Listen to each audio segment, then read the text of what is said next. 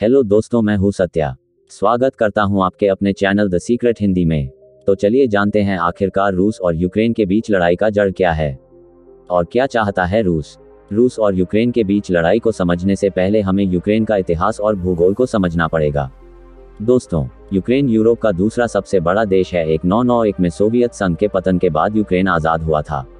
उस दौरान करीब तीन करोड़ रूसी लोग अपने मूल देश से बाहर हो गए थे।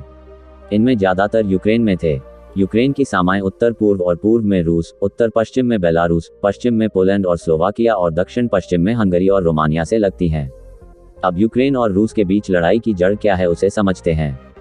दोस्तों, यूक्रेन के पूर्वी हिस्से के लोगों का देश के प्रति गहरा असंतोष है।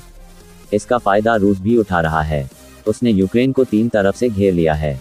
अगर इन दोनों देशों के बीच लड़ाई की जड़ की बात करें तो सीधे शब्दों में रूस नहीं चाहता कि यूक्रेन की ताकत बढ़े या वह पश्चिमी देशों के साथ बेहतर संबंध बना पाए।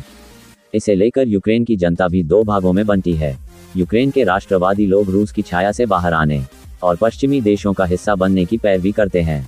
वहीं यूक्रेन के भीतर रूस से खुद को जोड़कर देखने वाले लोग इसके पक्ष में नज़र नहीं आते हैं। ऐसे में स्थिति और भी जटिल हो गई है।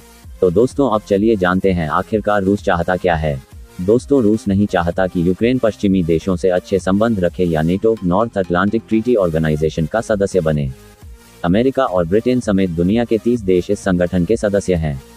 नाटो का सदस्य होने का मतलब है कि, अगर संगठन के किसी भी देश पर कोई तीसरा देश हमला करता है तो सभी सदस्य एकजुट होकर उसका मुकाबला करेंगे। रूस का कहना है कि अगर नाटो की तरफ़ से यूक्रेन को मदद मिली तो उसका अंजाम सबको भुगतना होगा। आशा करता हूँ आप बेहतर से समझ पाए होंगे।